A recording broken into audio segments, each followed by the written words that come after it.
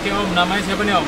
Rian Dari mana Om Rian? dari Bintaro. Nah ini mobilnya tipe apa? Tahun berapa nih Om? Brio e CVT sih, Di CVT ya? Ah. Tahun berapa Om? tahun 2019. 2015. Oh baru ya berarti ya? Baru sih. Nah, Oke Om, kenapa nih Om pengen upgrade lampu transmisi kayak gitu? Biar kalau jalan kelihatan aja, kalau malam kelihatan. Itu doang sih, nggak ada yang lain. Itu doang ya. Terus Sip, sip. Om, next project kira-kira apa nih Om? Kira-kira? Naik project mau ganti lampu kayaknya ganti lampunya yang Mobilio tuh yang baru. Siap, iya siap. yang mobil baru ini. Ah, ah. Masih inden Om barangnya. siap-siap. Oke, Ya udah aja om. banyak, Sip-sip, masih ya. Siap. Ada yang mau siapa nih teman-teman nih yang? Eh, kalau mau upgrade ke ke sini aja tempatnya Iya. paling bener, paling ori. Thank you om. Terima kasih Om. Ayo. Assalamualaikum warahmatullahi wabarakatuh. Eh, kembali lagi dengan vlog Muhammad Bobby atau Bobby Spectral Item. Ya Om, kali ini saya mau update singkat saja karena pengerjaannya hanya 30 menit lebih lah ya, kurang lebih.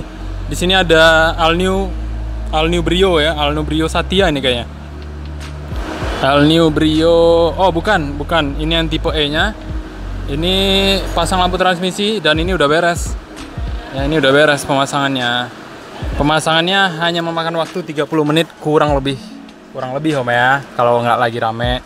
Nah, jadi di sini basicnya New Brio ini tidak ada lampu transmisi Om.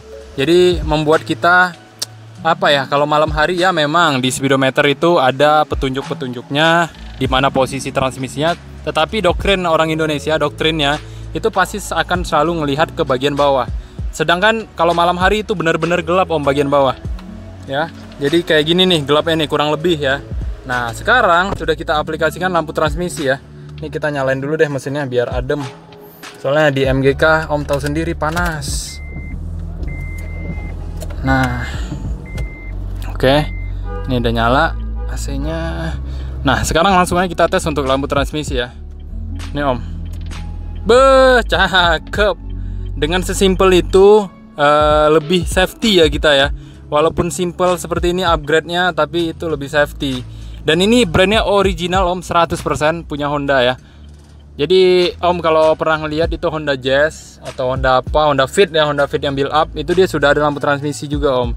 Dan ini dia panel-panelnya sama warnanya dengan lampu transmisi. Ya, semuanya aman, nggak ada masalah ya tinggal paling ini uh, audio steeringnya kita ganti yang apa yang ada lampu tapi mungkin next time oke jadi ini dia tampilannya oke ini buat uh, om-om yang punya istri dan make mobil ini uh, sangat saya pikir sih sangat penting ya untuk mengaplikasikan lampu transmisi seperti ini. Oke ini omnya udah mau jalan nih. Ya nanti mungkin kalau sempat saya wawancara saya akan masukin di bagian part depan videonya. Oke om terima kasih telah menonton. Wassalamualaikum warahmatullahi wabarakatuh